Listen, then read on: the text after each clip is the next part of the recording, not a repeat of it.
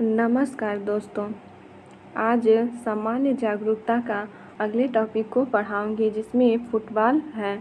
अप्रैल 2019 तक उपलब्ध जानकारी के अनुसार निम्नलिखित में से कौन सा देश नवीनतम फीफा विश्व फुटबॉल रैंकिंग में पहले स्थान पर है? तो ये हो जाएगा बेल्जियम। क्या हो जाएगा? बेल्जियम।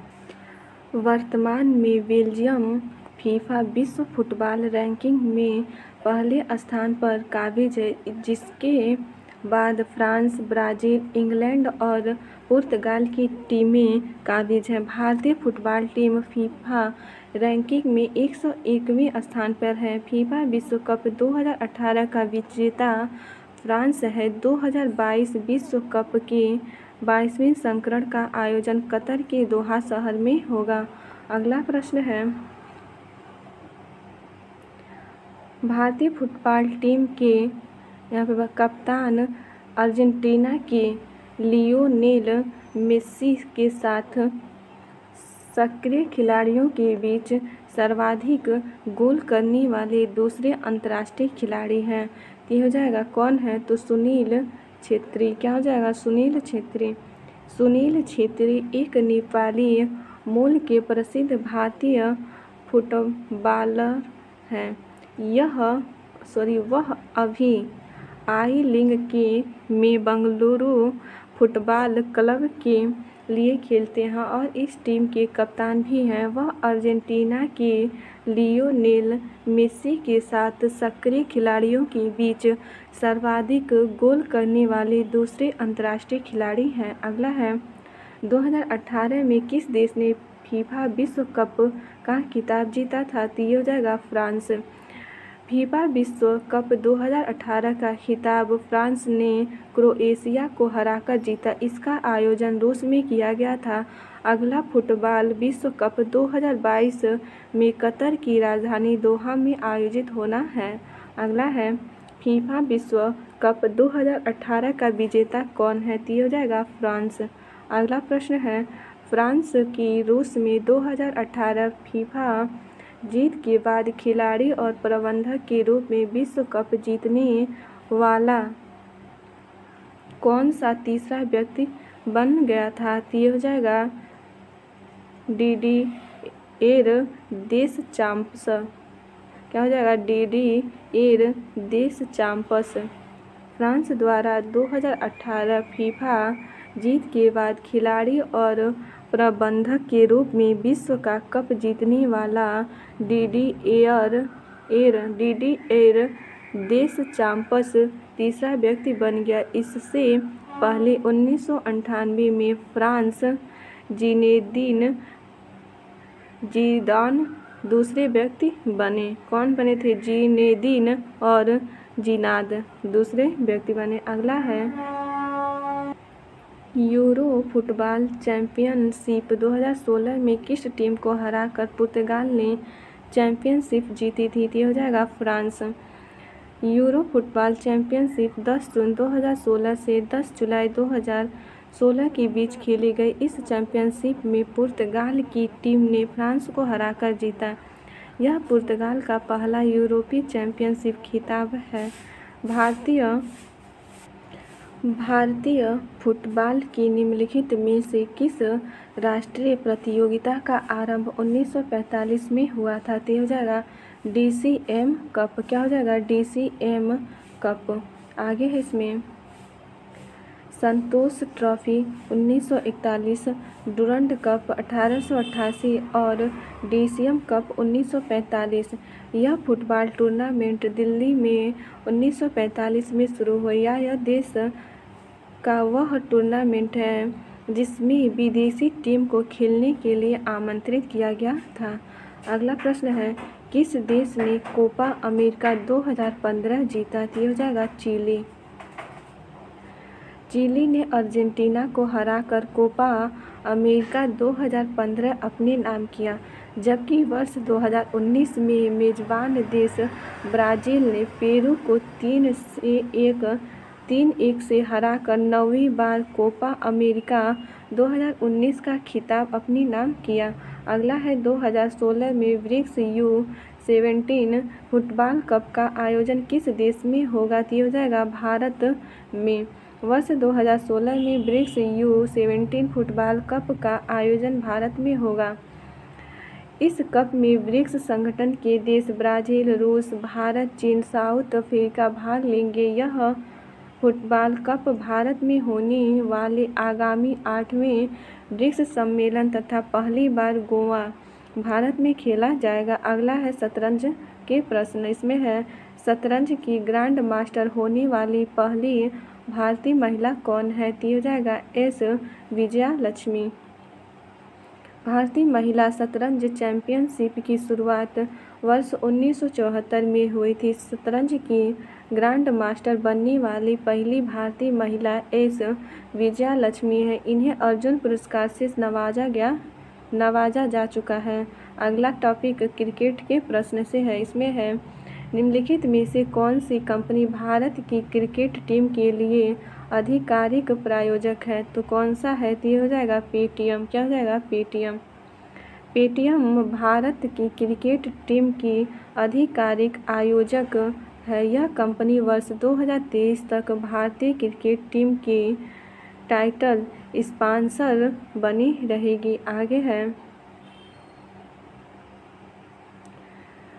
22 से 26 नवंबर 2019 तक भारतीय क्रिकेट टीम ने अपना पहला दिन रात टेस्ट मैच कहाँ के विरुद्ध खेला दिया जाएगा?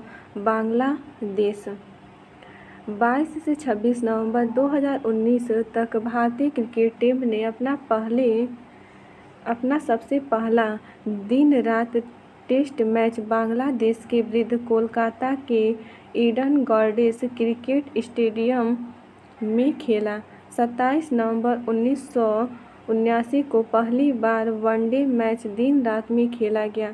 भारत में क्रिकेट, भारतीय क्रिकेट नियंत्रण बोर्ड बीसीसीआई द्वारा संचालित किया जाता है, जिसके वर्तमान अध्यक्ष सौरव गांगुली हैं तथा भारतीय क्रिकेट टीम के मुख्य कोच रवि शास्त्री हैं।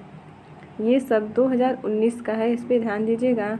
अगला प्रश्न है, वर्ष 2018 में निम्नलिखित में से कौन सी टीम आईपीएल ट्रॉफी की विजेता थी थी हो जाएगा चेन्नई सुपर किंग्स। वर्ष 2018 आईपीएल के ग्यारहवें संस्करण का खिताब चेन्नई सुपर किंग्स ने जीता था। वर्ष 2019 इंडियन प्रीमियर लीग आईपीएल के बाईसवें संस्करण में मुंबई इंडियंस ने चेन्नई सुपर किंग्स को फाइनल मुकाबले में एक रन से हराते हुए चौथी बार यह खिताब जीता। अगला प्रश्न है, क्रिकेट विश्व कप 2019 में निम्नलिखित में से किस देश की टीम अपने सभी मैच हार गए तो हो जाएगा अफ़गानिस्तान।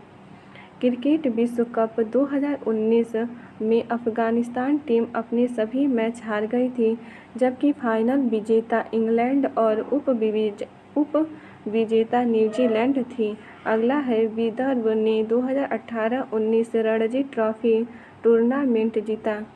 फरवरी 2019 में नागपुर में फाइनल में उनसे निम्नलिखित में से किस टीम को हराया था तो हो जाएगा सौराष्ट्र। 2018-19 रणजी ट्रॉफी का फाइनल मैच तीन फरवरी 2019 को विदर्भ और राष्ट्र के मध्य खेला गया, जिसमें विदर्भ ने सौराष्ट्र को अठहत्तर रन से हराकर टूर्नामेंट का खिताब अपने नाम किया। रणजी ट्रॉफी की शुरुआत सन 1934 में हुई थी। सबसे अधिक मुंबई ने 41 बार यह खिताब अपने नाम किया। अगला प्रश्न है, मार्च 2019 तक उपलब्ध जानकारी के अनुसार आईसीसी अंतर्राष्ट्रीय टेस्ट रैंकिंग में नंबर टू पर आने वाली क्रिकेट टीम का नाम क्या है? तो ये हो जाएगा न्यूजीलैंड। मार्च 2019 तक उपलब्ध जानकारी के अनुसार आईसीसी अंतर्राष्ट्रीय टेस्ट रैंकिंग में नंबर टू पर आने वाली टीम न्यूजीलैंड है तथा पहले स्थान पर भारत है। किस भारतीय महिला बल्लेबाज का भाई जिला स्तर पर क्रिकेटर है तो ये हो जाएगा स्मृति मंदना, क्या हो जाएगा? स्मृति मंदना। भारतीय महिला क्रिकेट टीम की बल्लेबाज स्मृति मंदाना का भाई श्रवण जिला स्तर का क्रिकेटर है।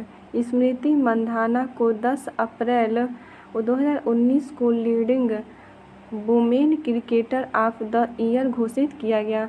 अगला प्रश्न है, आईपीएल 2019 सीज़न के लिए दिल्ली कैपिटल के कप्तान के रूप में किसे चुना गया? तो श्रेयस श्रेयस अय्यर आईपीएल 2019 सीज़न के लिए दिल्ली कैपिटल के कप्तान के रूप में श्रेयस अय्यर को चुना गया। आईपीएल 2019 इंडियन प्रीमियर लीग का बारहवा संस्करण था।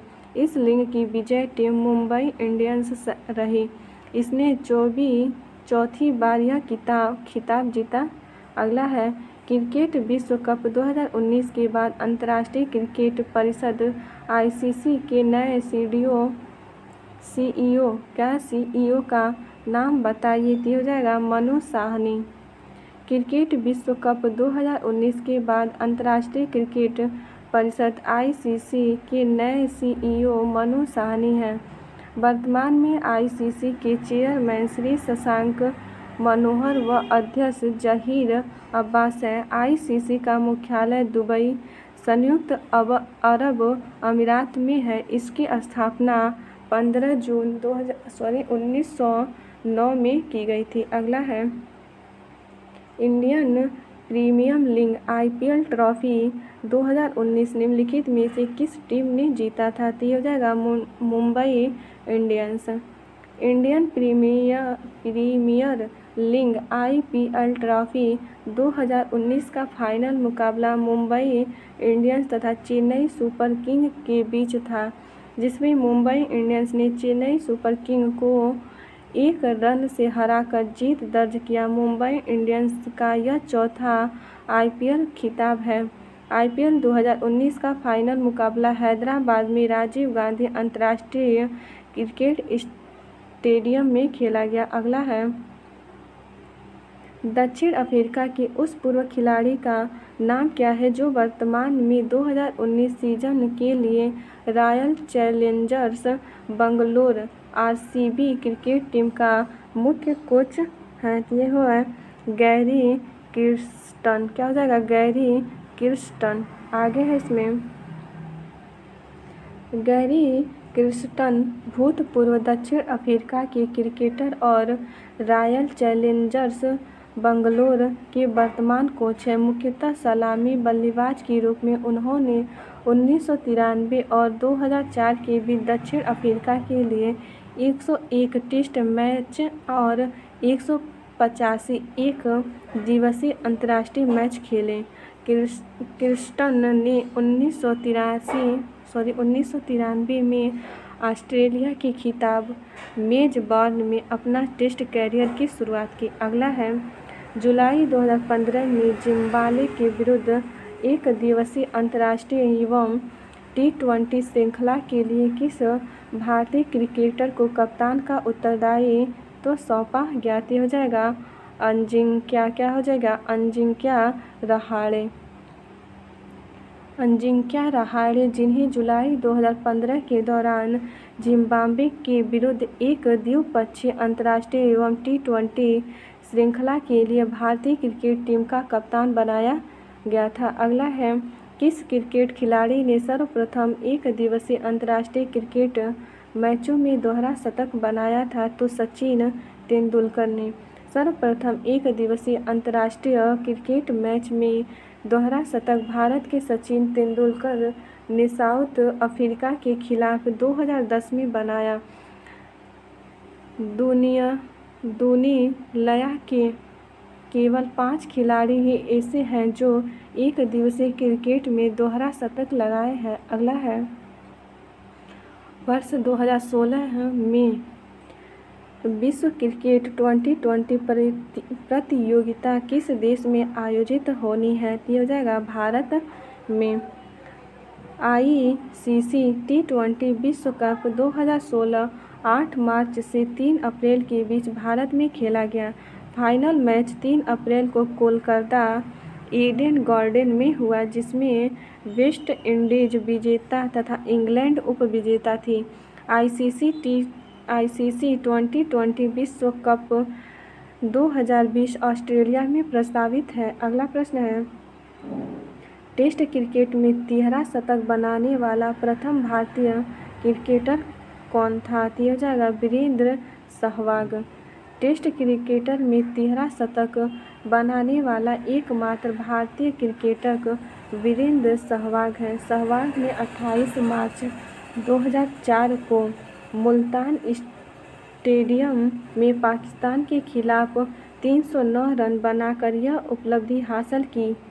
यह उपलब्धि हासिल करने वाले ये विश्व के अठारहवें बल्लेबाज हैं। उन्होंने वर्ष 2008 में साउथ अफ्रीका के खिलाफ पुनः 319 रन बनाकर टेस्ट क्रिकेट में दो तिहरा शतक लगाने वाले ब्रैंडमैन ऑस्ट्रेलिया के बाद दुनिया के दूसरे क्रिकेटर हैं। उन्होंने अपने टेस्ट करियर में दो बार दोहरा शतक भी लगाया। अगला है, इनमें से किन्हीं वर्ष 2015 का बीसीसीआई क्रिकेटर के लिए मनोनीत किया गया है। तो जाएगा विराट कोहली।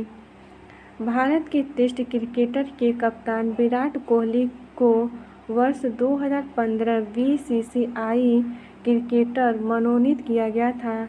बीसीसीआई क्रिकेटर पुरस्कार की शुरुआत 2006 से 2007 में हुई थी। अगला है दिसंबर 2015 में भारत बनाम दक्षिण अफ्रीका टेस्ट सीरीज़ में मैन ऑफ़ द सीरीज़ कौन था? तो यह जाएगा रविन, रविचंद्रन, अश्विन।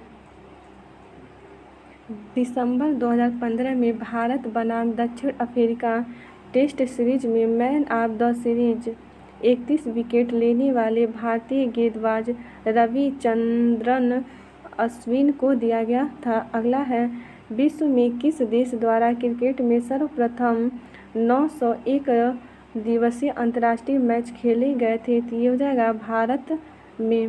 भारत में धर्मशाला में न्यूजीलैंड के खिलाफ खेले जा रहे पहले वनडे 2016 सॉरी 16 अक्टूबर 2016 के साथ ही 900 वनडे मैच खेलने का रिकॉर्ड अपने नाम कर लिया। ध्यातव्य है कि वर्ष 1971 में वनडे क्रिकेट की शुरुआत हुई थी। भारत ने पहला वनडे इंग्लैंड के विरुद्ध 1974 में खेला। अगला प्रश्न है, board of control for cricket in India BCCI ने भारत, यहाँ बताना है क्रिकेट को बढ़ावा देने के लिए यूएन इन्वायरमेंट के साथ एक आशय पत्र एल ओ आई पर हस्ताक्षर किए दिए जाएगा हरा। बी सी सी आई ने भारत में हरा क्रिकेट को बढ़ावा देने के लिए यू एन इक्वायरमेंट के साथ एक आशय पत्र हस्ताक्षर किया। इस साझेदारी का उद्देश्य भारत में पर्यावरणीय चुनौतियों के बारे में जानकारी फैलाना है, जिससे सतत समाधान की तरह बढ़ाया, बढ़ा जा सके। अगला है, उस भारतीय गेंदबाज का नाम बताएँ, जो एक दिवसीय अंतर्राष्ट्रीय मैचों में सौ विकेट लेने वाला सबसे तेज भारतीय बन गया। यह है मोहम्मद शमी। भारतीय तेज गेंदबाज मोहम्मद शमी ने जनवरी 2019 में न्यूजीलैंड के खिलाफ खेलते हुए एक दिवसीय अंतर्राष्ट्रीय मैचों में सबसे तेज सौ विकेट, छप्पन मैच लेने वाले पहले भारतीय गेंदबाज बनने का गौरव प्राप्त किया। तेज गेंदबाज जसप्रीत बुमराह, दूसरे गेंदबाज जिन्होंने संतावन मैचों में सौ विकेट पूरे किए। अगला प्रश्न है। निम्नलिखित में से सुलेमित नहीं है। तो कौन सा सुलेमित नहीं है? तो इसमें हो जाएगा महात्मा गांधी स्टेडियम मेरठ। ये सुलेमित नहीं है। महात्मा गांधी स्टेडियम तमिलनाडु के सलेम ज़िले में स्थित है। सन उन्नीस सौ बहत्तर में स्थापित इस स्टेडियम पर अब तक सात बार प्रथम श्रेणी के क्रिकेट मैच आयोजित किए जा चुके हैं। अगला है, निम्नलिखित में से किसने टी ट्वेंटी अंतर्राष्ट्रीय मैचों में सर्वाधिक छक्के मारकर रिकॉर्ड स्थापित किया था? तो ये हो जाएगा क्रिस गेल। विश्व टी ट्वेंटी चैंपियनशिप मैच में वेस्ट इंडीज़ ने इंग्लैंड के अपेक्षाकृत बड़े लक्ष्य को बौना साबित करके छः विकेट से धमाकेदार जीत दर्ज की। गेल को पहले ओवर में खेलने का मौका नहीं मिला, इसके बाद स्टेडियम के चारों तरफ़ उनके छक्कों की धूम रही। बाएँ हाथ में बल्लेबाज 48 गेंदों पर नाबाद 100 रन की धमाकेदार पारी खेली, जिसमें 11 छक्के और पाँच चौके शामिल हैं। गेल ने अपनी इस पारी के दौरान टी ट्वेंटी अंतर्राष्ट्रीय क्रिकेट मैच में सर्वाधिक छक्के जड़ने का रिकॉर्ड बनाया। अगला है, हाल ही में अंतर्राष्ट्रीय क्रिकेट काउंसिल के अध्यक्ष के रूप में किसे चुना गया? तो ये हो जाएगा जहीर अब्बास। क्या हो जाएगा? जहीर अब्बास। अंतर्राष्ट्रीय क्रिकेट काउंसिल के अध्यक्ष के रूप में जून 2015 जहीर अब्बास को चुना गया। वर्तमान में अंतर्राष्ट्रीय क्रिकेट परिषद के मुख्य कार्यकारी अधिकारी सीईओ मनु साहनी को नियुक्त किया गया। अगला टॉपिक है एथलेटिक्स इसमें प्रश्न है, भारत का पहला राष्ट्रीय खेल विश्वविद्यालय किस राज्य में स्थापित किया गया? हो जाएगा मणिपुर में। भारत का पहला राष्ट्रीय खेल विश्वविद्यालय मणिपुर में स्थापित किया गया है। ये खेल एवं शारीरिक शिक्षा के क्षेत्र में भारत सरकार द्वारा स्थापित पहला केंद्रीय विश्वविद्यालय है। अगला है विश्व जूनियर एथलेटिक्स में स्वर्ण जीतने वाली पहली भारतीय महिला कौन है? तो यह जाएगा हिमा दास। आगे है इसमें। हिमा दास ने फिनलैंड के टाम्पीर में आई ए एफ़ विश्व यू ट्वेंटी चैंपियन में महिलाओं की 400 मीटर दौड़ में पदक जीतकर इतिहास बनाया। अगला है बैडमिंटन के प्रश्न। इसमें है जुलाई 2018 में बैंकॉक में आयोजित Thailand open world tour super 500 badminton tournament महिला एकल किसने जीता था? तो हो जाएगा नोजोमी ओकुहारा। क्या हो जाएगा? Nozomi Okuhara. नोजोमी ओकुहारा एक जापानी बैडमिंटन खिलाड़ी हैं। उन्होंने दो जुलाई 2018 में बैंकॉक में आयोजित Thailand open world tour super 500 badminton tournament महिला एकल को जीता था।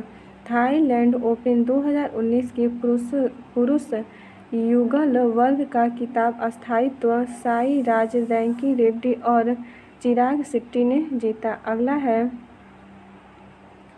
उबेर कप, जिसे कभी कभी महिलाओं का वर्ल्ड टीम चैंपियनशिप कहा जाता है, एक प्रमुख अंतर्राष्ट्रीय बैडमिंटन प्रतियोगिता है, जिसे में महिलाओं की राष्ट्रीय बैडमिंटन टीमों के द्वारा भाग लिया जाता है। किस टीम ने उबेर कप 2018 जीता था, यह जाएगा जापान। उबेर कप, जिसे महिलाओं की वर्ल्ड टीम चैंपियनशिप भी कहा जाता है, एक प्रमुख अंतर्राष्ट्रीय बैडमिंटन प्रतियोगिता है, जिसमें अलग अलग देशों की महिलाओं की राष्ट्रीय बैडमिंटन टीमों के साथ भाग लिया जाता है। कुबेर कप का नाम पूर्व ब्रिटिश महिला खिलाड़ी बेट्टी उबेर के नाम पर पड़ा था।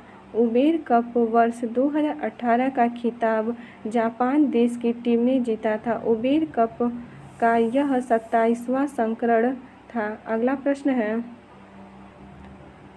थॉमस कप, जिसे कभी कभी विश्व पुरुषों की टीम चैंपियनशिप कहा जाता है, खेल के वैश्विक शासी निकाय बैडमिंटन वर्ल्ड फेडरेशन के सदस्य, राष्ट्रों का प्रतिनिधित्व करने वाले टीमों में एक अंतर्राष्ट्रीय बैडमिंटन प्रतियोगिता किस टीम ने थॉमस कप 2018 जीता तो हो जाएगा चीन, क्या हो जाएगा चीन। पुरुषों की बैडमिंटन टीम प्रतियोगिता 2018 का आयोजन बैंकॉक, थाईलैंड में संपन्न हुआ। इसमें फाइनल में चीन ने जापान को हराकर थॉमस कप जीता। थॉमस कप का यह तीसवां संस्करण था। अगला है के श्रीकांत ने भारत में किस खेल के लिए अर्जुन पुरस्कार जीता। तो हो जाएगा बैडमिंटन।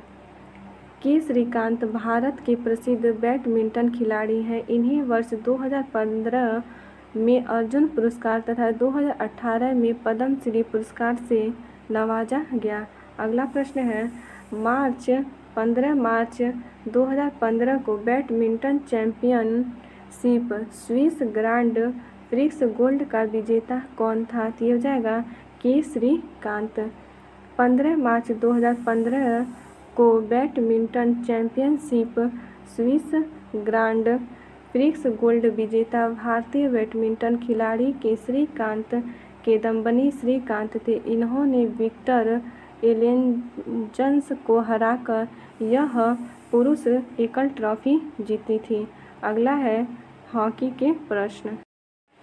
हॉकी का प्रश्न है, वर्ष 2016 के हॉकी पुरुष जूनियर वर्ल्ड कप प्रतियोगिता का आयोजन कहाँ होना है, ये हो जाएगा लखनऊ। ये 2016 का है। वर्ष 2016 के हॉकी पुरुष जूनियर विश्व कप प्रतियोगिता का आयोजन लखनऊ में होना प्रस्तावित है। वर्ष 2018 में पुरुष हॉकी कप में बेल्जियम ने नीदरलैंड को हराकर विश्व चैंपियन बना। यह हॉकी विश्व कप ओडिशा की राजधानी भुवनेश्वर के कलिंगा स्टेडियम में खेला गया था। अगला प्रश्न है, आगा खान गोल्ड कप किस खेल से संबंधित है? तो ये हो जाएगा फुटबॉल से। खेल तथा उससे संबंधित प्रमुख कप या ट्रॉफियाँ, hockey Aga Khan cup, Nehru trophy और ध्यानचंद्र ट्रॉफी, क्रिकेट का Ranji trophy, Irani trophy, Birla trophy, football का Durand cup, V C Roy trophy, Santosh trophy Aga Khan gold cup, badminton, Narang cup Chadha, cup, Amrit, Diwan, cup. अगला प्रश्न है। पंजाब के किस गाँव ने हॉकी के सर्वाधिक ओलंपिक खिलाड़ी दिए हैं? दिया जाएगा संसारपुर। आगे है इसमें। संसारपुर, पंजाब राज्य के जालंधर ज़िले का एक गाँव है। इस गाँव में से ओलंपिक में हॉकी के सर्वाधिक खिलाड़ी दिए गए हैं। गुरुदेव सिंह उधम सिंह, दर्शन सिंह, कर्नल बलवीर सिंह और कर्नल गुरमीत सिंह आदि। अगला फार्मूला रेप के प्रश्न, रेस के प्रश्न। इसमें है, फार्मूला रेस के प्रश्न जो है, निम्नलिखित में से किसने एशियन ग्रांड प्रिक्स 2015 जीता तो ये हो जाएगा लुइस हैमिल्टन। क्या हो जाएगा? Lewis Hamilton. Russian grand prix 2015 Sochi रूस में संपन्न हुआ लुइस हैमिल्टन, मर्स डीज ए ने सेबास्टियन वेटल को पीछे करके अपनी वर्ष 2015 की नवीं फार्मूला एक रेस जीता।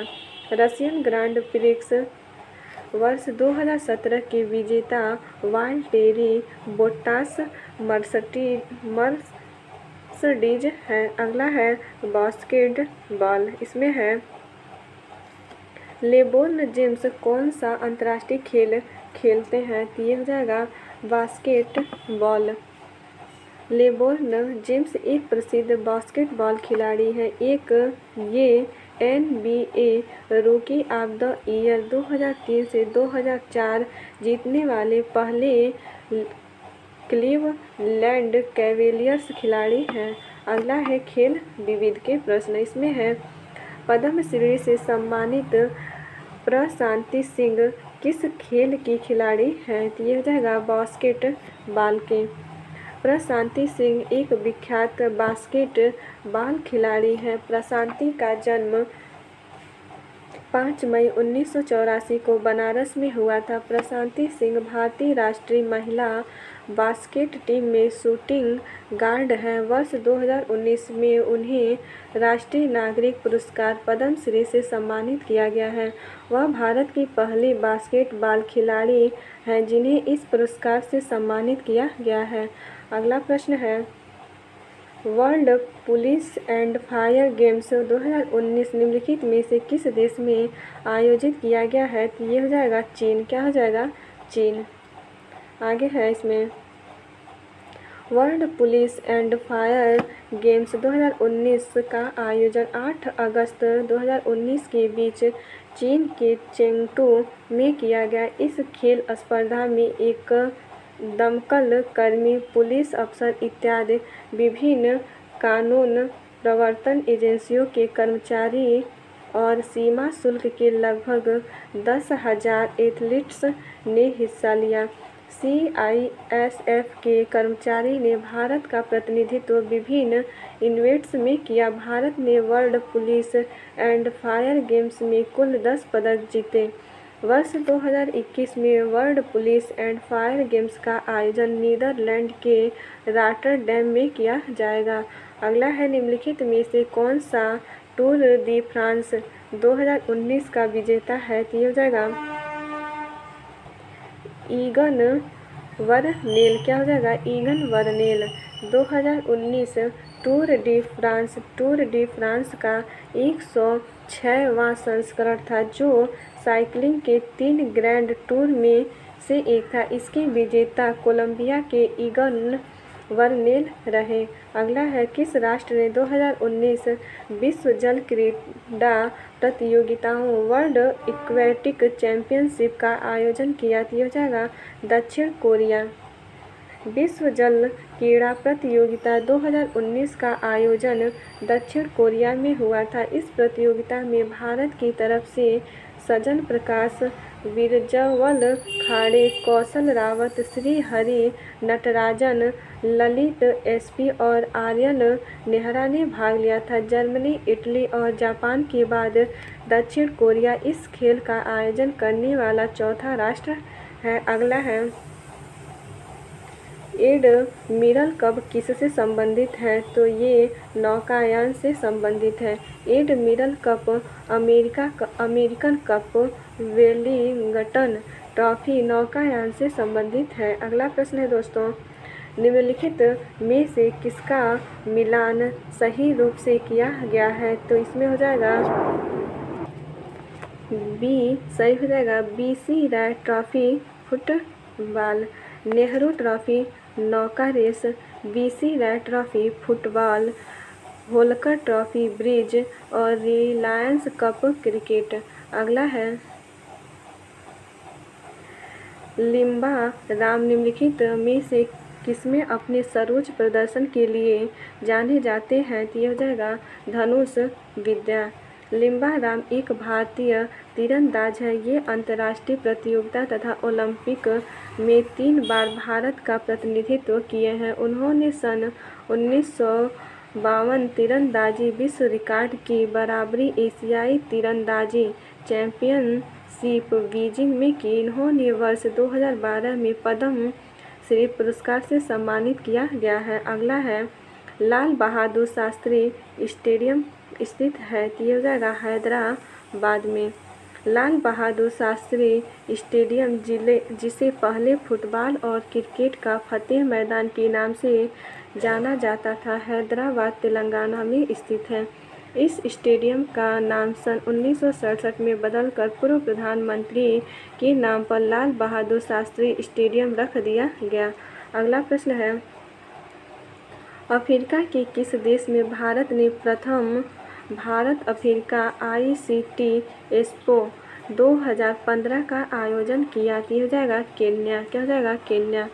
अफ्रीकी देश केन्या में भारत ने प्रथम भारत अफ्रीका आईसीटी एक्सपो 2015 का आयोजन किया। अगला है वुहान ओपन महिला एकल खिताब 2015 किसने जीता? तो हो जाएगा वीनस विलियम्स।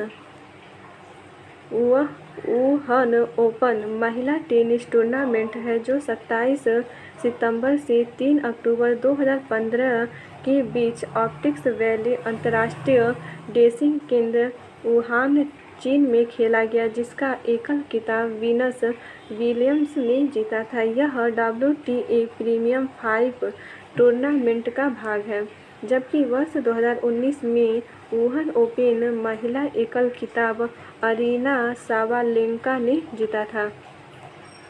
अगला है कबड्डी। विश्व कप 2016 में किस खिलाड़ी के सर्वश्रेष्ठ आक्रमणकर्ता का खिताब दिया गया है। तीन हो जाएगा अजय ठाकुर, अहमदाबाद में खेले गए कबड्डी विश्व कप 2016 में फाइनल में भारत ने ईरान को अड़तीस उनतीस से पराजित कर लगातार तीसरी बार कबड्डी विश्व कप का खिताब अपने नाम किया।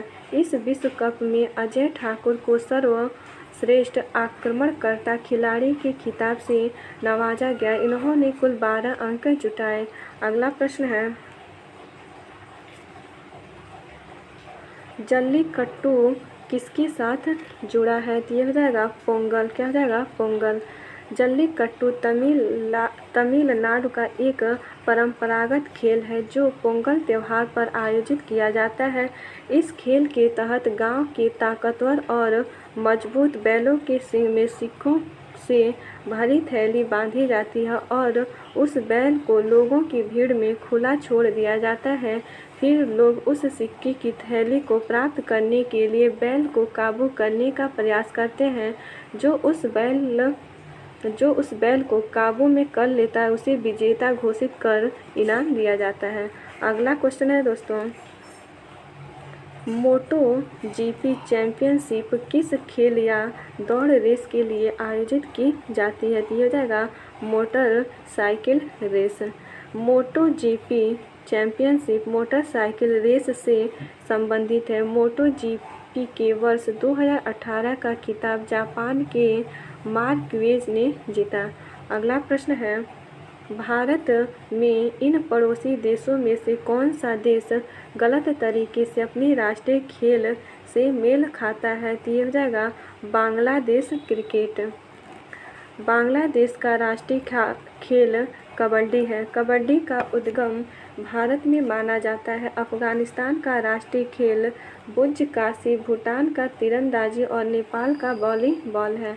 अगला प्रश्न है, पोकेमान गो, जो हाल ही में बड़ी सुर्खियों में रहा, किससे संबंधित है? तो ये हो जाएगा मोबाइल गेम से। पोकेमॉन गो एक फ्री टू प्ले स्थान सॉरी फ्री टू प्ले स्थान आधारित रियलिटी गेम है। इसको निया नरिक कंपनी द्वारा आईओएस एंड्रॉयड तथा एप्पल डिवाइसों के लिए बनाया गया है। दसवां टॉपिक है, भारतीय अनुसंधान संगठन। इसमें है, वर्ष 2015 में भारत द्वारा अंटार्कटिका में स्थापित अनुसंधान स्टेशन का क्या नाम है? तो हो जाएगा, भारतीय। वर्ष 2015 में भारत द्वारा अंटार्कटिका में भारतीय अनुसंधान स्टेशन स्थापित किया है। इससे पूर्व भारत द्वारा अंटार्कटिका महाद्वीप में दो अनुसंधान केंद्र, दक्षिण गंगोत्री उन्नीस सौ चौरासी तथा मैत्री उन्नीस सौ अट्ठासी में स्थापित किए गए थे। अगला प्रश्न है, अंटार्कटिका में भारत कितने अनुसंधान स्टेशन है। तो अंटार्कटिका में भारत के कितने अनुसंधान स्टेशन है? तो ये हो जाएगा तीन। क्या हो जाएगा? तीन। भारत का हिमाद्री स्टेशन स्थित है। तो ये आर्कटिक में स्थित है। हिमाद्री स्टेशन भारत का पहला आर्कटिक रिसर्च स्टेशन है। यह Spitsbergen sorry, Spitsbergen Svalbard, Norway में स्थित। यह आर्कटिक रिसर्च बीस में स्थापित है। इसका उद्घाटन 1 जुलाई 2008 में किया गया था। यह उत्तरी ध्रुव से 1200 किलोमीटर की दूरी पर स्थित है। अगला है, भारतीय दलहन अनुसंधान अवस्थित है। दिया जाएगा, कानपुर में। तो भारतीय दलहन अनुसंधान कानपुर, उत्तर प्रदेश में स्थित है। इसकी स्थापना उन्नीस सौ तिरासी ईस्वी में की गई थी। अगला है, भारतीय कपास अनुसंधान संस्थान कहाँ स्थित है? तो हो जाएगा नागपुर में। केंद्रीय कपास अनुसंधान केंद्र नागपुर, महाराष्ट्र में स्थित है। इसकी स्थापना 1976 ईस्वी में हुई थी। कुछ प्रमुख राष्ट्रीय अनुसंधान केंद्र निम्नलिखित हैं। केंद्रीय चावल अनुसंधान केंद्र कटक, ओडिशा में। राष्ट्रीय गन्ना अनुसंधान केंद्र लखनऊ, उत्तर प्रदेश। केंद्रीय आलू अनुसंधान केंद्र शिमला। हिमाचल प्रदेश केंद्रीय तंबाकू अनुसंधान केंद्र, आंध्र प्रदेश राजमुंदरी राष्ट्रीय वन अनुसंधान संस्थान, देहरादून, उत्तराखंड। अगला प्रश्न है, सूची एक और सूची दो को मिलाइए इसमें हो जाएगा? Indian Grain Storage Management and Research Institute तो हो जाएगा, हापुड़। क्या हो जाएगा? हापुड़ राष्ट्रीय उद्यमिता एवं लघु व्यवसाय विकास संस्थान ये नोएडा और गोविंद बल्लभ पंत सामाजिक विज्ञान संस्था ये इलाहाबाद में है। और हरीश चंद्र अनुसंधान संस्थान ये इलाहाबाद में है। इसमें आपका ऑप्शन ए सही हो जाएगा। आगे है।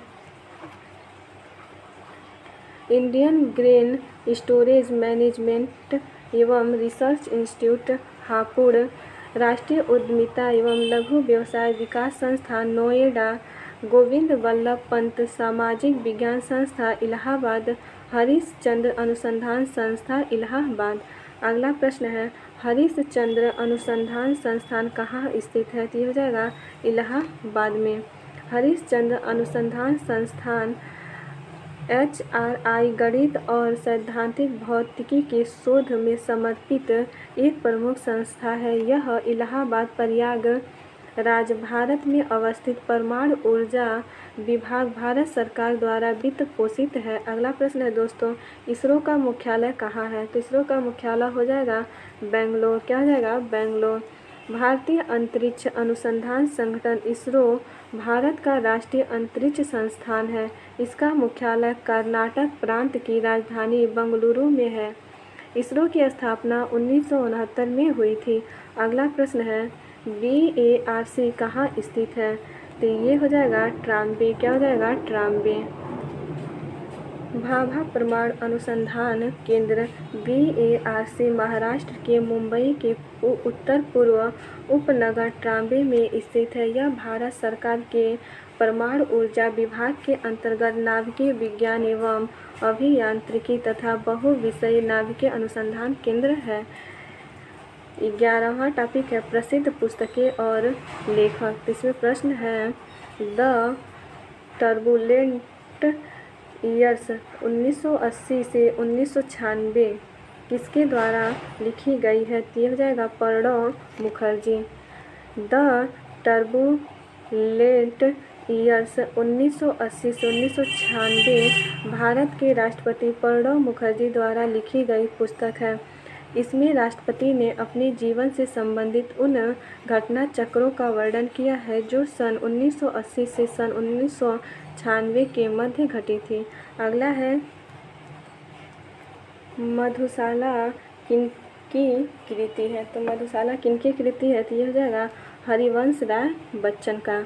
आगे है इसमें Harivansh Rai Bachchan, Madhushala Maithili Sharangupt Bharat Bharati, Rabindranath Tagore, Chitrangada, Gitanjali, Chandalika, gardener, hungry, stones और जयशंकर प्रसाद का कामायनी, आँसू और लहर। अगला प्रश्न है माई कंट्री माई लाइफ किसकी आत्मकथा है? तो ये हो जाएगा Lal Krishna Advani. My Country, My Life, Lal Krishna Advani की आत्मकथा है और Guilty Men of India's Partition, doctor Ram Manohar Lohia की आत्मकथा है। अगला प्रश्न है बेटो वाली विधवा किसके द्वारा लिखी गई लघु कथा है? यह है प्रेमचंद्र का। बेटो वाली विधवा मुंशी प्रेमचंद्र द्वारा लिखी गई लघु कथा है। अगला है निम्न में से, कौन सी किताब सरोजनी नायडू द्वारा लिखित नहीं है?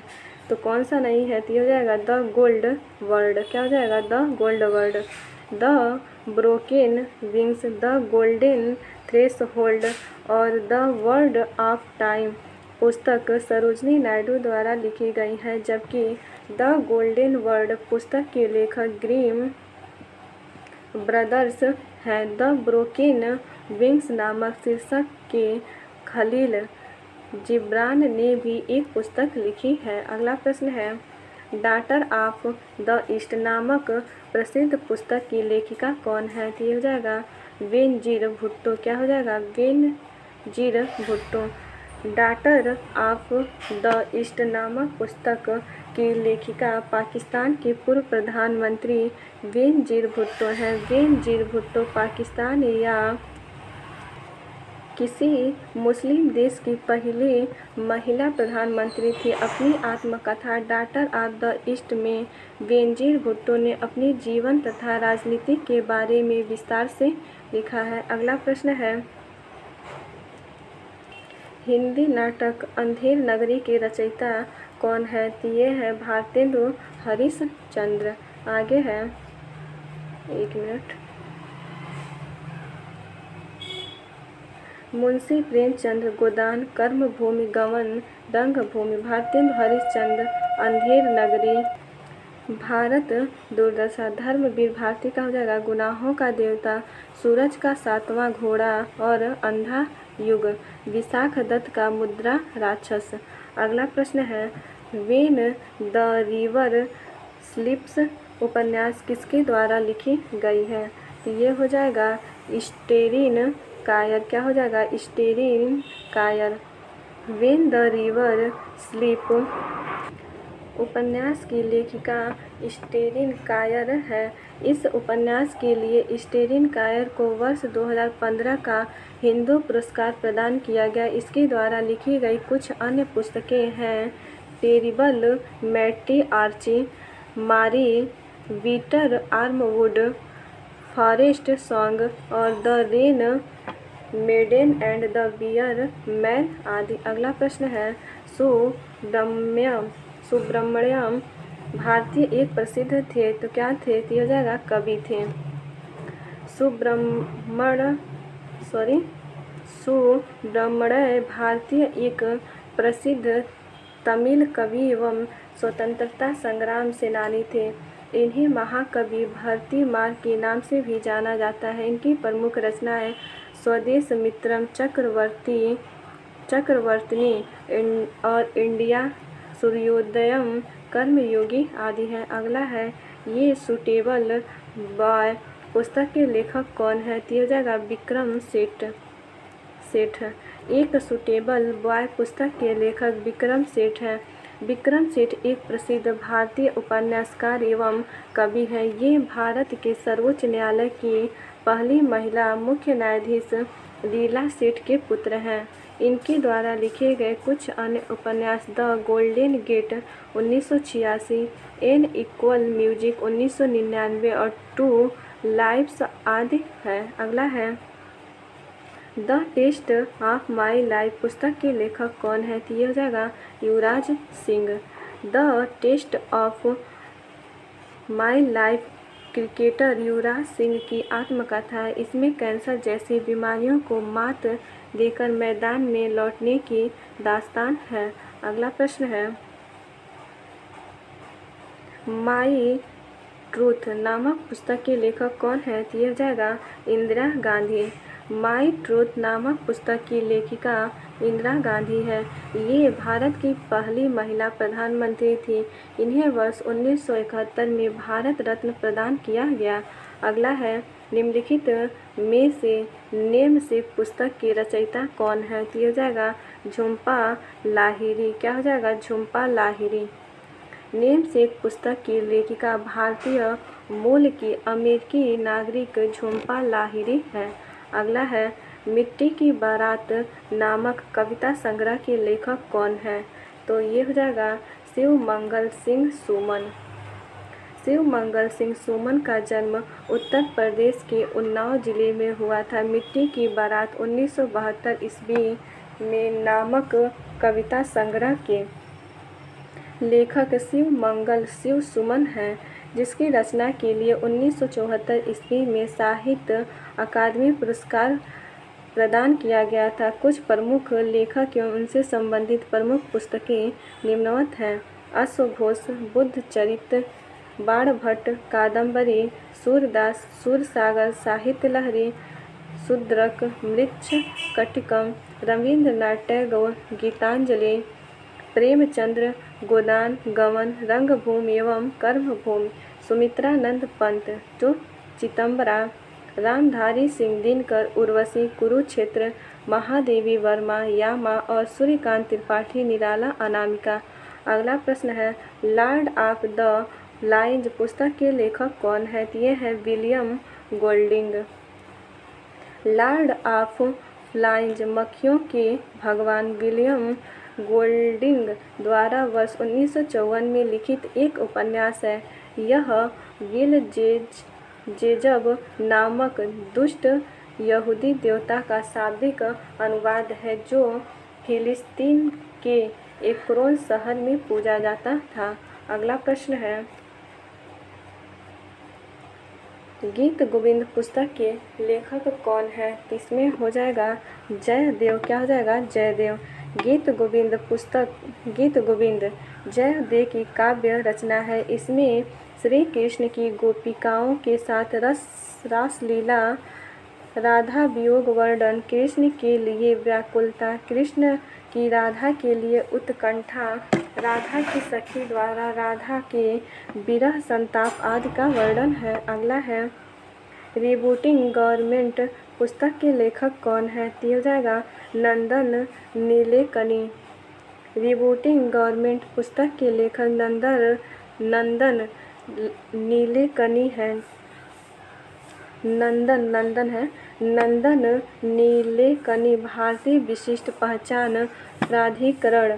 यू आई डी ए आई के पूर्व अध्यक्ष थे। यह पुस्तक नवंबर 2015 में प्रकाशित हुई। इसके तहत सह लेखक बिरल शाह है। अगला प्रश्न है, अतीत के जल चित्र किस लेखक द्वारा लिखा हुआ उपन्यास है तो हो जाएगा महादेवी वर्मा। अतीत के जल चित्र महादेवी वर्मा द्वारा रचित एक रेखा चित्र है। महादेवी के रेखा चित्रों की यह विशेषता भी है कि उनके चरित्र चित्रण का तत्व प्रमुख रहा है। अगला है, द पोस्ट अमेरिकन वर्ल्ड नामक पुस्तक के लेखक हैं। तो हो जाएगा, फरीदा जकारिया। क्या हो जाएगा? Fareed Zakaria. The Post American World पुस्तक के लेखक फरीद जकारिया हैं, जो एक अमेरिकी पत्रकार है। इस किताब में उन्होंने दुनिया भर में उदार लोकतंत्र के प्रसार के लिए अमेरिका को धन्यवाद दिया है। अगला प्रश्न है, असंगत मैच की पहचान करें। तो इसमें हो जाएगा, Broken Wing India, sorry, Broken Wing Indira Gandhi. Broken Wing Indira Gandhi की नहीं, बल्कि सरोजनी नायडू की रचना है। इनकी अन्य रचना है the Golden Threshold the World of Time, the Songs of Time आदि है। अन्य विकल्प सही सुलेमित है। अगला प्रश्न है। एक मिनट सॉरी बारहवा टॉपिक है, पुरस्कार एवं विजेता। इसमें प्रश्न है कि किस पर्यावरणविद ने उन्नीस में मैक्सेसे पुरस्कार जीता तथा ताजमहल और गंगा की सफ़ाई में एक प्रमुख भूमिका निभाई। थी हो जाएगा महेंद्र चंद्र मेहता। महेंद्र चंद्र मेहता को उन्नीस ईस्वी में रैमन मैग्सेसे पुरस्कार दिया गया। यह पुरस्कार एशिया का नोबेल पुरस्कार है। यह पुरस्कार उन्हें दिया जाता है जो एशिया के विकास को आगे ले जाने में मदद करते हैं। महेश चंद्र मेहता पर्यावरणविद हैं। उन्होंने ताजमहल और गंगा यमुना जैसी नदियों को प्रदूषण मुक्त करने का प्रयास किया। वह पर्यावरण संरक्षण के लिए औद्योगिक प्रदूषण को रोकने के लिए सैदों प्रयासरत रहे। 2019 का रमन मैगसेसे पुरस्कार एनडीटीवी के रवीश कुमार को पत्रकारिता के क्षेत्र में दिया गया। अगला है, पहले भारतीय जिन्होंने ग्रैमी जीवन प्रयत्न उपाधि प्राप्त किया है तो पंडित रवि शंकर। भारत के महान सितार वादक और शास्त्रीय संगीतज्ञ पंडित रवि शंकर पहले भारतीय हैं, जिन्हें ग्रैमी जीवन प्रयत्न उपाधि दिया गया, जिनका जन्म वर्ष 1920 में बनारस में हुआ था। इन्होंने भारत, कनाडा, यूरोप तथा अमेरिका में बैले तथा फ़िल्म के लिए संगीत कंपोज किया। इन फ़िल्मों में चार्ली गांधी और अप्पू त्रिलोगी शामिल हैं। रवि शंकर को विभिन्न विश्वविद्यालय से डायरेक्ट डॉक, सॉरी, डॉक्टरेट की चौदह मानक उपाधि मिल चुकी हैं। रवि शंकर को तीन गैमी पुरस्कार मिले हैं। इन्हें रेमन मैगसेसे पुरस्कार, पद्म भूषण, पद्म विभूषण तथा भारत रत्न भी मिल चुका है। रविंद्र शंकर की मृत्यु बावन वर्ष की अवस्था में 11 दिसंबर 2012 को हुई। अगला है, निम्नलिखित में से किसने उसी विषय में दो नोबल पुरस्कार प्राप्त किए हैं? तो कौन है? ये हो जाएगा जॉन बर्दिन क्या हो जाएगा? जॉन बर्दिन जॉन बर्दिन एक अमेरिकी भौतिकी वैज्ञानिक तथा इलेक्ट्रिकल इंजीनियर थे। उनको भौतिक विज्ञान के क्षेत्र में वर्ष 1956 तथा वर्ष 1972 में नोबेल पुरस्कार दिया गया। मैडम क्यूरी को दो बार नोबेल पुरस्कार, एक भौतिकी तथा दूसरा रसायन शास्त्र के क्षेत्र में मिला। अगला प्रश्न है, निम्नलिखित में से किसने विभिन्न विषयों में दो नोबेल पुरस्कार प्राप्त किए हैं? ये हो जाएगा मैडम क्यूरी। आगे है। मैडम क्यूरी भौतिकविद तथा रसायन शास्त्री थी। यह नोबेल पुरस्कार जीतने वाली पहली महिला थी। वह दो विधाओं में नोबेल प्राप्त करने वाली एकमात्र महिला है। इन्हें वर्ष 1903 में इनके पति पियरी क्यूरी के साथ भौतिकी में रेडियो सक्रियता तथा वर्ष 1911 में रसायन शास्त्र में शुद्ध रेडियन की खोज के लिए नोबेल पुरस्कार मिला। अगला प्रश्न है ध्यानचंद्र पुरस्कार में कितना नगद ईमान इनाम सॉरी इनाम प्रदान किया जाता है? तो कितना किया जाता है? इसमें आपका हो जाएगा पाँच लाख रुपए। ध्यानचंद पुरस्कार खेल कूद में जीवन भर की उपलब्धियों के लिए वर्ष 2002 में दिया जाने वाला सर्वोच्च पुरस्कार है। ध्यानचंद्र पुरस्कार में पाँच लाख रुपए का नगद धनराशि इनाम के रूप में प्रदान किया जाता है। अगला प्रश्न है। भारत सरकार द्वारा दिया जाने वाला तृतीय उच्चतम नागरिक पुरस्कार कौन सा है? तो हो जाएगा पद्म भूषण। क्या हो जाएगा? पद्म भूषण। भारत सरकार द्वारा दिया जाने वाला सर्वोच्च नागरिक पुरस्कार भारत रत्न है। इसके बाद नागरिक क्षेत्र में देश का सबसे बड़ा पुरस्कार पद्म पुरस्कार है। पद्म पुरस्कार कला, साहित्य, शिक्षा, विज्ञान तथा टेक्नोलॉजी, खेल, चिकित्सा आदि किसी भी क्षेत्र में उल्लेखनीय क्षेत्र के लिए दिए जाते हैं। इस पुरस्कार की तीन श्रेणियाँ हैं। पद्म विभूषण उन्नीस सौ चौवन, पद्म भूषण उन्नीस सौ चौवन, पद्म, यहाँ पे दो बार दे दिया है, इसमें कुछ और होना चाहिए। आगे देख लेते हैं, श्री पद्म श्री ये हो जाएगा उन्नीस सौ तिरासी। नहीं, ये भी सही है। यहाँ से फिर देख लेते हैं एक बार। पद्म विभूषण उन्नीस सौ चौवन पद्म भूषण उन्नीस सौ चौवन और पद्म श्री उन्नीस है अतः भारत सरकार द्वारा दिया जाने वाला तृतीय उच्चतम नागरिक पुरस्कार पद्म भूषण है। अगला प्रश्न है, प्रत्येक वर्ष कितने नोबेल पुरस्कार दिए जाते हैं? तो ये हो जाएगा छः। नोबेल पुरस्कार, नोबेल फाउंडेशन द्वारा प्रत्येक वर्ष स्वीडिश वैज्ञानिक अल्फ्रेड नोबेल की स्मृति में शांति साहित्य भौतिक रसायन चिकित्सा चिकित्सा और अर्थशास्त्र के क्षेत्र में दिया जाता है। इन क्षेत्रों में दिया जाने वाला यह विश्व का सर्वोच्च पुरस्कार है। इस पुरु, इस पुरस्कार की शुरुआत अल्फ्रेड बर्नहार्ड नोबेल ने सन 1901 में की थी। पहले नोबेल पुरस्कार पाँच क्षेत्रों में दिया जाता था। अर्थशास्त्र के लिए पुरस्कार स्वेरिजेस रिक्स बैंक स्वीडस, स्वीडिश बैंक द्वारा अपनी तीन वर्षगांठ तीन सौ वर्षगांठ के उपलक्ष्य में उन्नीस सौ उनहत्तर में आरंभ किया। इसे अर्थशास्त्र में नोबेल स्मृति पुरस्कार भी कहा जाता है। अगला प्रश्न है दादा साहेब फाल्के पुरस्कार किस क्षेत्र में योगदान के लिए दिया जाता है? तो ये हो जाएगा फ़िल्म। क्या हो जाएगा? फ़िल्म आगे है।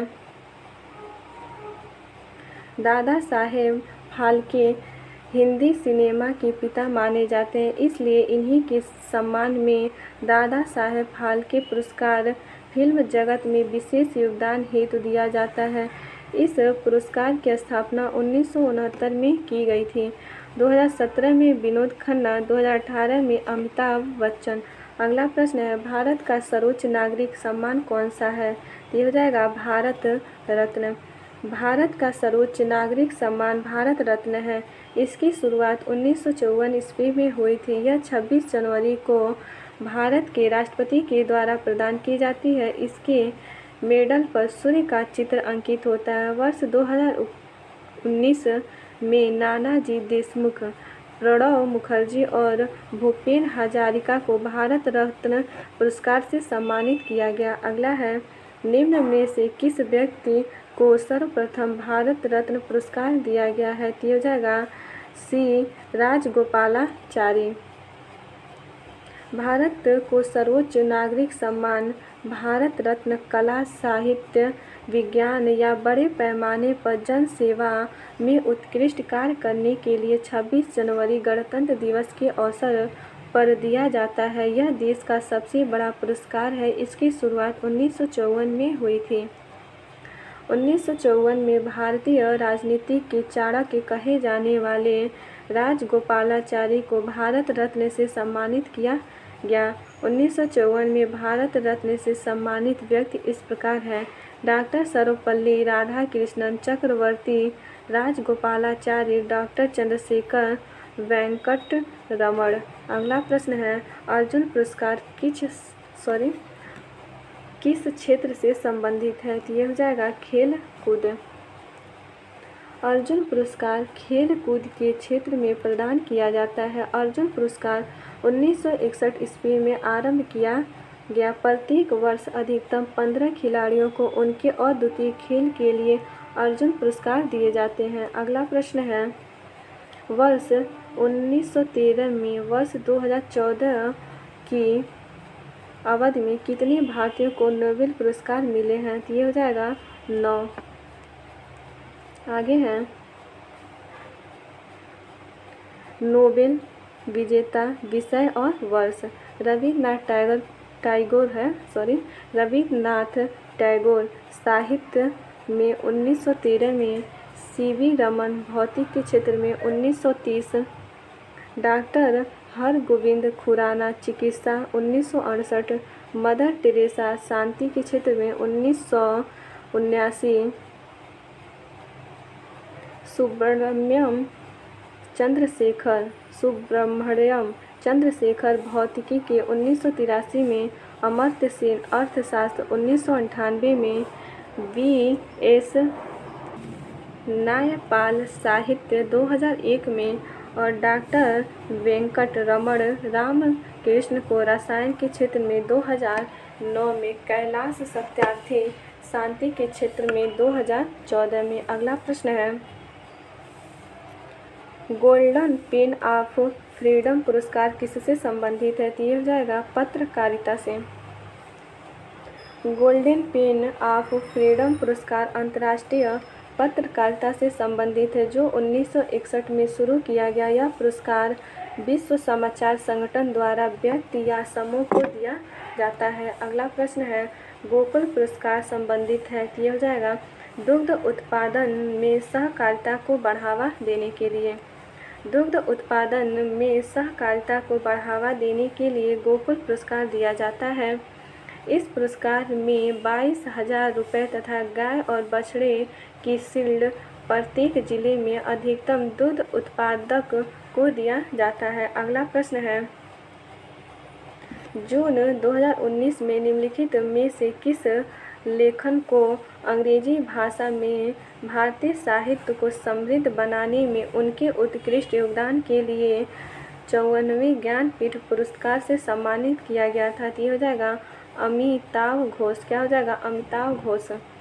जून 2019 में प्रसिद्ध लेखक अमिताभ घोष को अंग्रेज़ी में भारतीय साहित्य को समृद्ध बनाने में उनके उत्कृष्ट योगदान के लिए चौवनवें ज्ञानपीठ पुरस्कार से सम्मानित किया गया। ज्ञानपीठ पुरस्कार से सम्मानित होने वाले ये अंग्रेज़ी के पहले लेखक हैं। साहित्य और शिक्षा में उनकी सेवाओं के लिए पद्म श्री 2007 और उन्हें साहित्य अकादमी 1990 से सम्मानित किया गया है।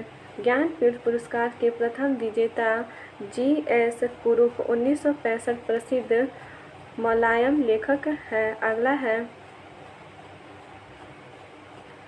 निम्नलिखित पुरस्कारों में से कौन सा पुरस्कार नॉर्वे के राजा द्वारा प्रस्तुत किया गया है और अक्सर इसे गणित का नोबेल पुरस्कार कहा जाता है? तो हो जाएगा एबल प्राइज। एबल पुरस्कार प्रत्येक वर्ष गणित के क्षेत्र में असाधारण उपलब्धियों के लिए नॉर्वे के राजा द्वारा प्रदान किया जाता है। यह गणित के नोबेल पुरस्कार के नाम से भी जाना जाता है। प्रत्येक वर्ष यह पुरस्कार Norwegian Academy of Science and Letters द्वारा ओस्लो में प्रदान किया जाता है। वर्ष 19 सॉरी, वर्ष 2019 का एबल पुरस्कार कनाडा के गणितज्ञ करेन उहलेन बेक को प्रदान किया गया। श्रीनिवास एस आर वर्धन एकमात्र भारतीय गणितज्ञ हैं, जिन्हें वर्ष 2007 में एबल पुरस्कार से सम्मानित किया गया। अगला प्रश्न है उत्तर प्रदेश के पहले मुख्यमंत्री गोविंद बल्लभ पंत को किस वर्ष भारत रत्न से सम्मानित किया गया? तो हो जाएगा उन्नीस गोविंद, पंडित गोविंद बल्लभ पंत उत्तर प्रदेश के प्रथम मुख्यमंत्री और भारत के चौथे गृह मंत्री थे। सन उन्नीस में उन्हें भारत रत्न से सम्मानित किया गया था। तेरहवा टॉपिक है, जलवायु परिवर्तन एवं पर्यावरण। इसमें पहला है भारतीय पारिस्थितिकी तंत्र। इसमें प्रश्न है, निम्नलिखित में से कौन सा बायोडिग्रेडेबल बायोडिग्रेडेबल जैव निम्नीकरणीय सामग्री नहीं है? इसमें हो जाएगा? एल्युमिनियम फोइल क्या हो जाएगा? एनमू सॉरी एल्यूमिनियम फोइल जीवों के माध्यम से जिन पदार्थों का रासायनिक विघटन संभव है, उन्हें जैव निम्नीकरण बायोडिग्रेडेबल कहते हैं। जैविक पदार्थ ऑक्सीजन की अनुपस्थिति में अपघटित किए जा सकते हैं। एल्यूमिनियम फोइल बायोडिग्रेडेबल नहीं है, जबकि कपास, जानवरों की हड्डियाँ, लकड़ी आदि बायोडिग्रेडेबल है। अगला है, परितंत्र के दो मूल घटक हैं। तो ये हो जाएगा जीवी और अजीवी परितंत्र 1935 में एजी टांसली द्वारा पारिस्थितिकी या परितंत्र की संकल्पना प्रस्तावित की गई।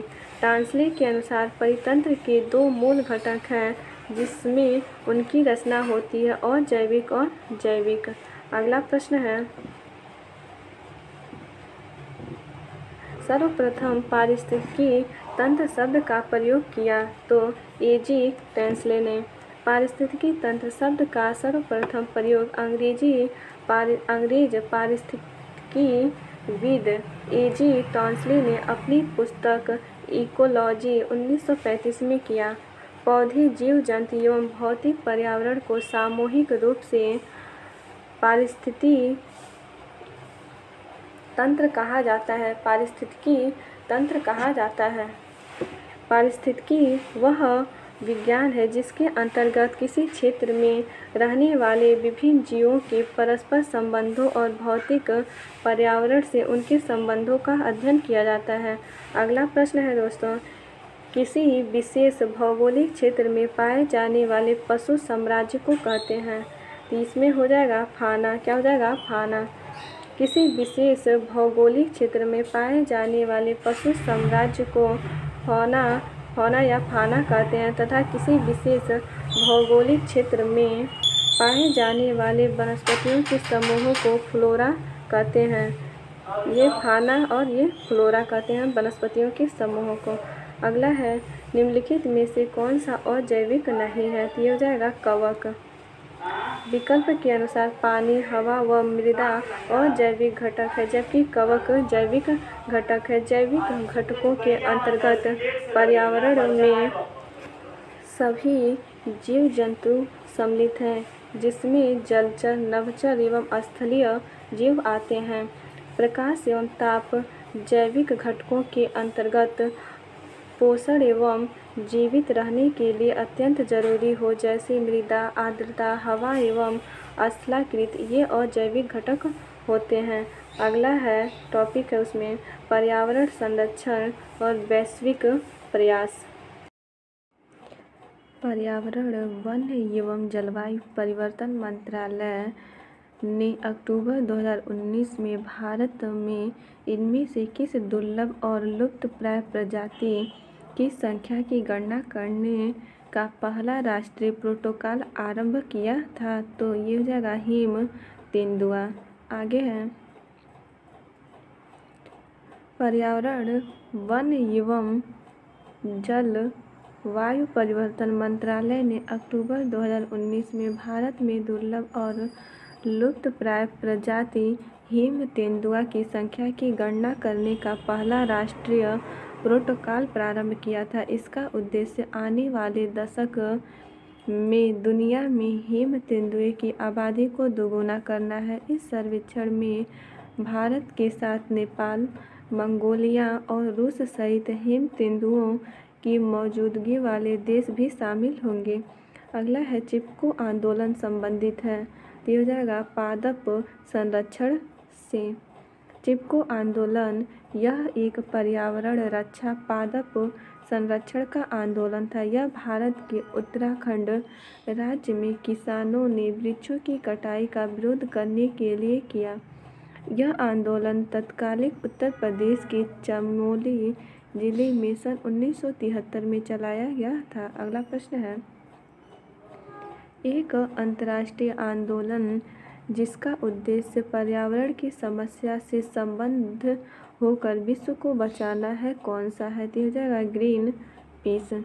ग्रीन पीस पर्यावरण संरक्षण से संबंधित एक अंतर्राष्ट्रीय आंदोलन है, जिसका प्रमुख उद्देश्य पर्यावरण की समस्या से संबंध होकर विश्व को बचाना है। इसकी स्थापना वर्ष 1971 में कनाडा में की गई थी। प्रारंभ में इसका उद्देश्य अमेरिका द्वारा अलास्का में किए जाने वाले नाभिकीय परीक्षण का विरोध करना था।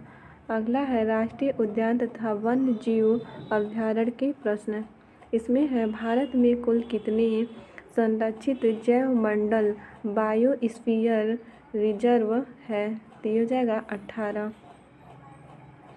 भारत में कुल अट्ठारह संरक्षित जैव मंडल है। जैव मंडल संरक्षित क्षेत्र अनुवांशिक विभिन्नता से संबंधित होते हैं, जिनमें जीवों की आनुवांशिकता को बनाए रखने के लिए उन्हें संरक्षण प्रदान किया जाता है। प्रमुख जैव मंडल आरक्षित क्षेत्र निम्न है। जैव मंडल रिज़र्व और स्थापना वर्ष। नीलगिरी उन्नीस सौ छियासी सौ छियासी नोकरेक उन्नीस नंदा देवी उन्नीस सौ अट्ठासी, मानस उन्नीस सौ नवासी, मन्नार की खाड़ी उन्नीस सौ नवासी। आगे है इसमें ग्रेट निकोबार उन्नीस सौ नवासी, सुंदरवन उन्नीस सौ नवासी सिमली पाल उन्नीस सौ चौरासी, डिब्रू सैखोवा उन्नीस सौ दिहांग, देबांग उन्नीस सौ अंठानवे, पंचमढ़ी उन्नीस सौ निन्यानवे, कंचनजंगा दो हज़ार, अगस्त्याम लाई 2001 अचानक मार अमरकंटक 2005 कच्छ या ज्ञान भारती 2008 शीत रेगिस्तान 2009 शेषाचालम पहाड़ियाँ 2010 और पन्ना सबसे नया 2011 अगला प्रश्न है। दांडेली वन्य जीव अभ्यारण्य भारत के किस राज्य में स्थित है? हो जाएगा कर्नाटक। क्या जाएगा कर्नाटक। दांडेली वन्य जीव अभ्यारण्य भारत के कर्नाटक राज्य में स्थित है।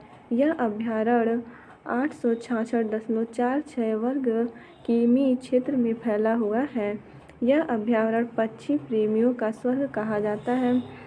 यहाँ पक्षियों की लगभग 200 प्रजातियाँ पाई जाती हैं। यहाँ के प्रमुख जीव हार्नबिल चितक, चितकबरा हाटिल काला पेंथर, मालावाट, गिलहरी, मंट, जैक, भौंकने वाले हिरण, हाथी, किंग कोपरा तथा मगरमच्छ आदि जीव पाए जाते हैं। अगला प्रश्न है दोस्तों कीठम झील और सुर सरोवर पक्षी अभ्यारण्य निम्नलिखित किस शहर के पास स्थित है? तो हो जाएगा आगरा। कीठम झील सिकंदरा से 12 किलोमीटर और आगरा से 20 किलोमीटर दूर national highway two N H two पर स्थित है। कीठम झील के साथ एक पक्षी विहार है, जिसे सुर सरोवर पक्षी विहार के नाम से है। इस पक्षी बिहार में स्थानीय व प्रवासी पक्षियों की सौ से ज़्यादा प्रजातियाँ हैं। साथ ही बारह प्रजातियाँ की स्तनपायी और अठारह प्रजाति के सरीसृप का भी यह ठिकाना है। अगला प्रश्न है, ईरा विकुलम राष्ट्रीय उद्यान किस राज्य में स्थित है? तो ये हो जाएगा केरल।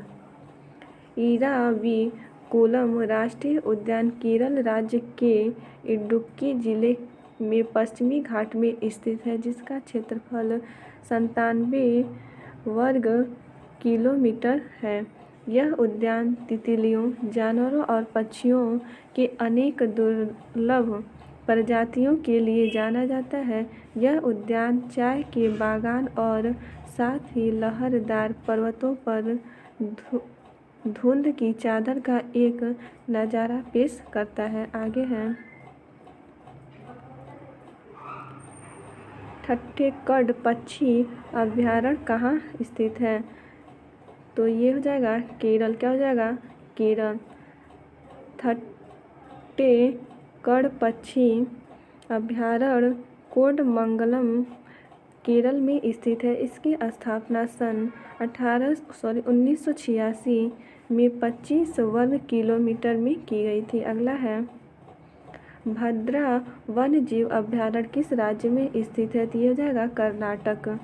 भारत के कुछ प्रमुख वन्य जीव अभ्यारण्य तथा उनसे संबंधित राज्य निम्नवत हैं।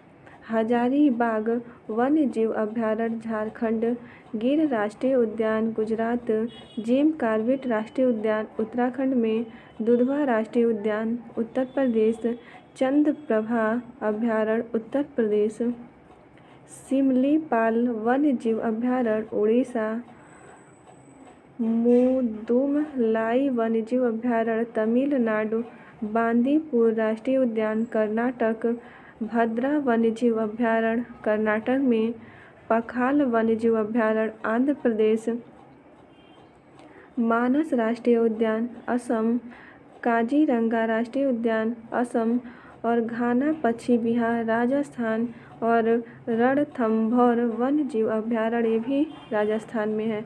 अगला प्रदूषण के प्रश्न है, इसमें है, निम्नलिखित में से क्या जलीय निकाय में होने वाले प्रदूषण में योगदान प्रदान नहीं करता तो ये हो जाएगा, ओजोन, क्या हो जाएगा? ओजोन। जल के भौतिक, रासायनिक व जैव अभिलक्षणों में होने वाले अनापेक्षित परिवर्तन को ही जल प्रदूषण कहते हैं।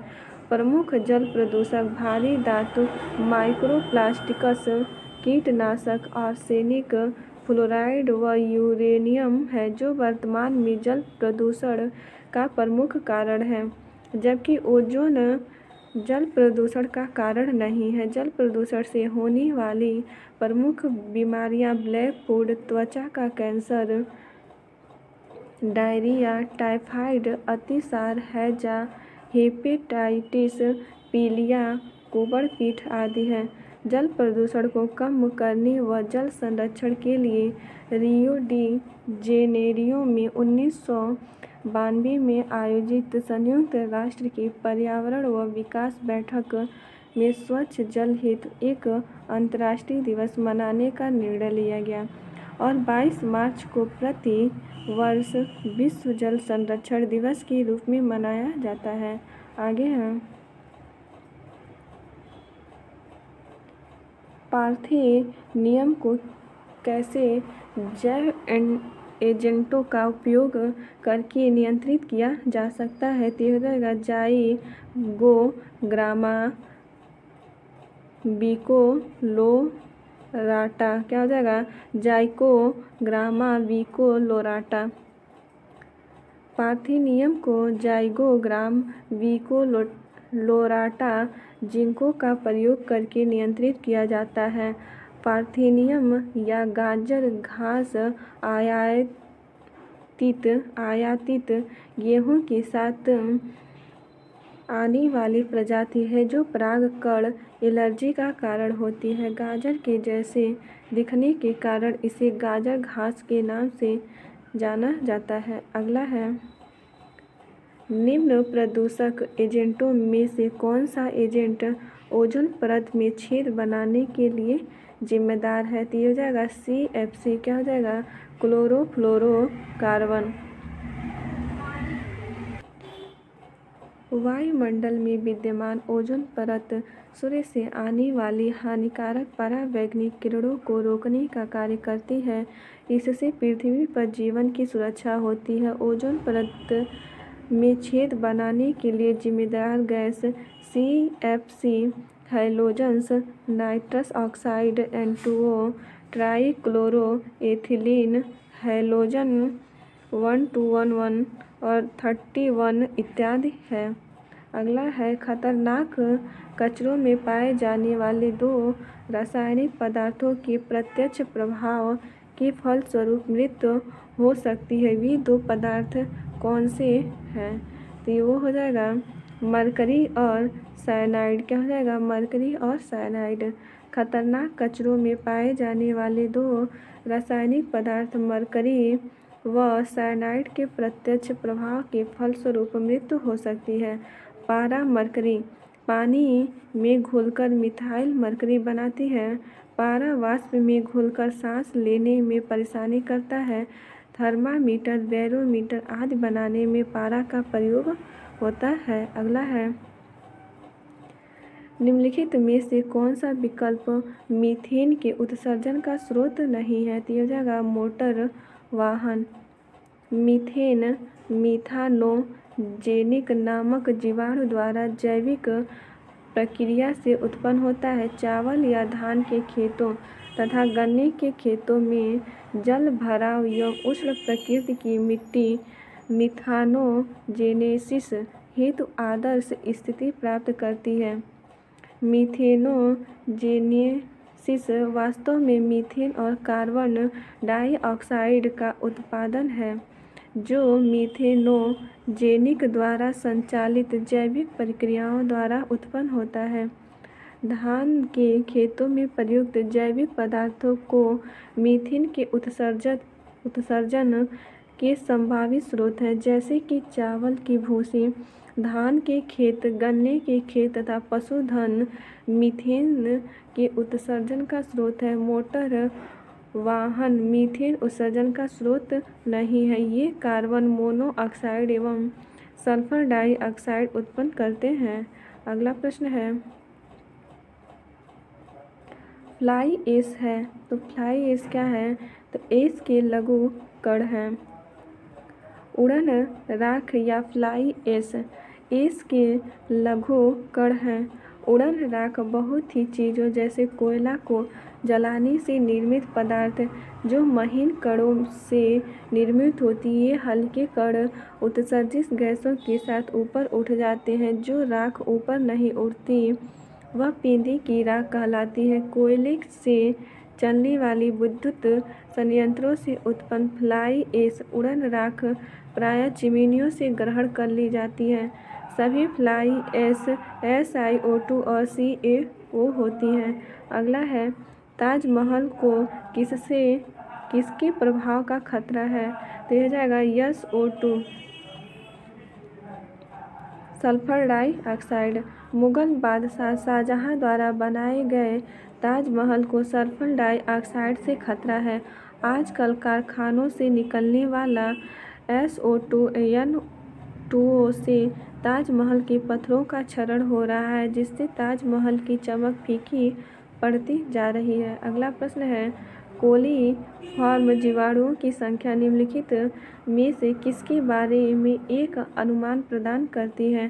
तो ये हो जाएगा, नदी के जल में सूक्ष्म जीवी प्रदूषण कोलीफॉर्म जीवाणुओं की संख्या नदी के जल में सूक्ष्म जीवी संदूषण के बारे में एक अनुमान प्रदान करती है। कोलीफॉर्म विशिष्ट जीवाणुओं का समूह होता है, जो मिट्टी, खराब सब्जियों, पशुओं के मल, गंदे जल में पाए जाते हैं। अगला प्रश्न है भू क्षरण किसके द्वारा रोका जा सकता है? तो ये जाएगा वन रोपण मृदा अपरदन या भू क्षरण का अर्थ है, मृदा कणों का किसी भी वाह कारणों जैसे तेज हवा, वर्षा द्वारा मिट्टी का स्थानांतरण होना मृदा क्षरण अधिकतर मृदा उर्वरता का ह्रास करता है। मृदा अपरदन को रोकने के लिए उपाय है वनारोपण, समुच्च जुताई और पट्टीदार खेती। अगला प्रश्न है, वनों की कमी, नगरीकरण और प्रदूषण का बढ़ना सभी निम्नलिखित किस कारण से है? ये हो जाएगा आबादी बढ़ना। आगे है। वनों की कमी, नगरीकरण और प्रदूषण का प्रमुख कारण जनसंख्या वृद्धि है। जनसंख्या वृद्धि के कारण छोटे छोटे कस्बे शहरों में और छोटे छोटे शहर महानगरों में परिवर्तित होते जा रहे हैं। जनसंख्या वृद्धि के कारण नए आवास और अधिक खाद्यान्न की आवश्यकता होती है, जिसके लिए वनों की कटाई करके यहाँ कृषि की जाती है तथा इमारती लकड़ियों फर्नीचर आदि के लिए वृक्षों की कटाई की जाती है। वृक्षों की कमी से वातावरण में कार्बन डाइऑक्साइड की वृद्धि होती है। जनसंख्या वृद्धि के कारण परिवहन में वृद्धि होती है, जिससे निकलने वाले धुएँ कार्बन मोनोऑक्साइड से प्रदूषण फैलता है। अगला है हरित गृह प्रवाह या जलवायु परिवर्तन के प्रश्न। इसमें है, निम्नलिखित में से कौन सी गैस ग्रीन हाउस गैस नहीं है इसमें हो जाएगा? Nitrogen. Nitrogen gas greenhouse gas नहीं है। यह वायुमंडल में सबसे अधिक मात्रा में पाई जाने वाली गैस है। यूएस पर्यावरण सुरक्षा एजेंसी के मुताबिक जो गैसें ऊष्मा को वायुमंडल से बाहर नहीं जाने देती, उन्हें ग्रीन हाउस गैस कहते हैं, जैसे carbon dioxide, methane, nitrous oxide, chlorofluorocarbon जल वाष्प आदि। ग्रीन हाउस गैसों में सबसे ज़्यादा उत्सर्जन कार्बन डाइऑक्साइड गैस का होता है। इस गैस का उत्सर्जन पेट्रोलियम ईंधन के दहन के रूप में होता है। धान के खेत में एवं पशु के जुगाली करने में methane C H four gas उत्सर्जित होती है। अगला प्रश्न है, निम्नलिखित में से क्या ग्रीन हाउस गैस नहीं है?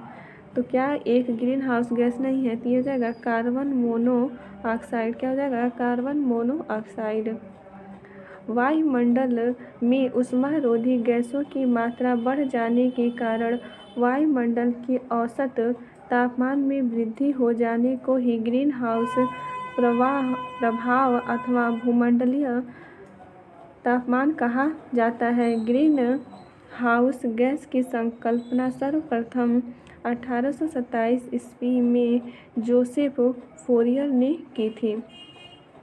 वायुमंडल में पाई जाने वाली प्रमुख ग्रीन हाउस गैसें हैं जल वाष्प carbon dioxide C O two, methane C H four chlorofluorocarbon C F C nitrous oxide N O two तथा ओजोन ओ थ्री आदि है, जबकि कार्बन मोनोऑक्साइड सी ओ एक ग्रीन हाउस गैस नहीं है। क्योटो प्रोटोकॉल अंतर्राष्ट्रीय समझौते के तहत U N F C C C United National Framework Convention climate change के संबंध है।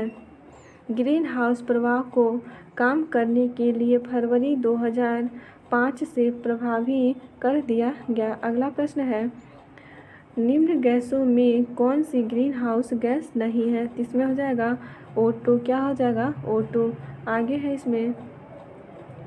ग्रीन हाउस प्रभाव एक प्राकृतिक प्रक्रिया है जिसके द्वारा किसी ग्रह या उपग्रह के वातावरण में मौजूद कुछ गैसें उस ग्रह या उपग्रह के वातावरण के ताप को अपेक्षाकृत बढ़ाने में मदद करती है।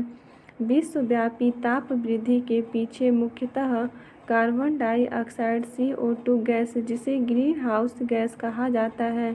प्रमुख ग्रीन हाउस गैसें हैं जलवाष्प C O two C H four N O two और ओ टू इत्यादि। अगला प्रश्न है, कृषि के ग्रीन हाउस का एक तरीका, जहाँ उन्नत ग्रीन हाउस प्रौद्योगिकी जैसे ही हाइड्रो पोनिक्स और एयरोपोनिक्स का उपयोग करके शहरों में बहुमंजिला इमारत के अंदर वाणिज्यिक रूप से व्यवहार फ़सलों की खेती की जाती है। तो इसमें हो जाएगा लंबवत खेती। लंबवत खेती कृषि के ग्रीन हाउस का एक तरीका है, जहाँ उन्नत ग्रीन हाउस प्रौद्योगिकी जैसे कि हाइड्रोपोनिक्स और एरोपोनिक्स का उपयोग करके शहरों में बहुमंजिली इमारतों के अंदर वाणिज्यिक रूप से व्यवहार्य फ़सलों की खेती की जाती है। अगला प्रश्न है, कृषि क्षेत्र से उत्पन्न होने वाले मीथेन गैस के अतिरिक्त एक मुख्य greenhouse gas G, H G क्या है? ये हो जाएगा।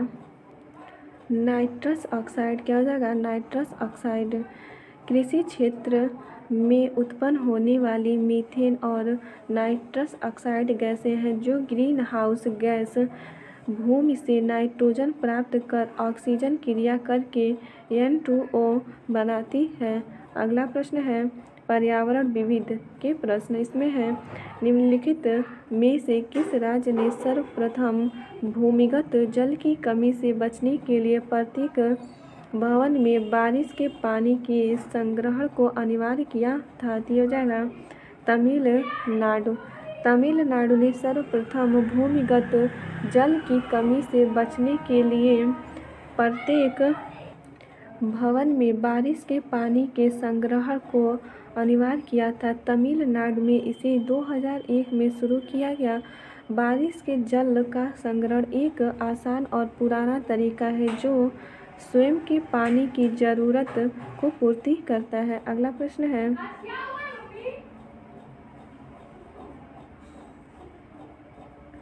काराधान कानून संशोधन अधिनियम 2017 ने किस वर्ष से स्वच्छ ऊर्जा उपकरण को प्रतिस्थापित किया है। ये हो जाएगा जीएसटी प्रतिपूर्ति उपकर काराधान कानून संशोधन अधिनियम 2017 के तहत स्वच्छ ऊर्जा उपकर को जीएसटी प्रतिपूर्ति उपकरण से प्रतिस्थापित किया गया। इसके स्थान पर कोयला उत्पादन पर उपकर का प्रावधान किया गया। अगला प्रश्न है, निम्नलिखित में से किसके परिणाम स्वरूप पानी की गुणवत्ता में गिरावट आई है? तो हो जाएगा, गंदे पानी का सही से निपटारा न करना। गंदे पानी का सही से निपटारा न करने के कारण पानी की गुणवत्ता में गिरावट आई है। अगला प्रश्न है भारत में ऐसा कौन सा पहला और एकमात्र राज्य है जहाँ छत पर बरसात के पानी के संग्रह संग्रहण, ढांचों का निर्माण सभी घरों के लिए अनिवार्य है, दिया जाएगा तमिलनाडु। भारत में तमिलनाडु पहला एक मात्र राज्य है जहाँ छत पर बरसात के पानी के संग्रहण, ढांचों का निर्माण सभी घरों के लिए अनिवार्य है। अगला प्रश्न है। हाल ही में उत्तर प्रदेश राज्य का नाम Guinness Book of World Record में मुख्यमंत्री अखिलेश यादव द्वारा चलाए गए किस अभियान के लिए दर्ज किया गया है? तो ये हो जाएगा क्यून, यूपी, ग्रीन यूपी। प्रश्नकाल के समय उत्तर प्रदेश के मुख्यमंत्री अखिलेश यादव द्वारा सात नवंबर 2015 को क्लीन यूपी, ग्रीन यूपी अभियान के तहत एक दिन में विभिन्न जिलों में 10 लाख से अधिक वृक्षारोपण किया गया।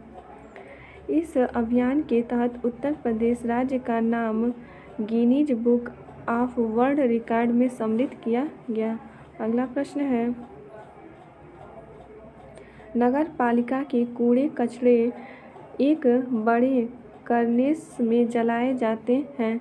इस करनेस को क्या कहा जाता है? दिया हो जाएगा, इंसिनरेटर क्या बोलते हैं? इंसिनरेटर नगर पालिका के कूड़े कचरों को जलाने के लिए एक बड़े फर्नेस का प्रयोग किया जाता है, जिसे इंसिनरेटर कहते हैं। अगला है, global food footprint network की स्थापना किस वर्ष हुई थी?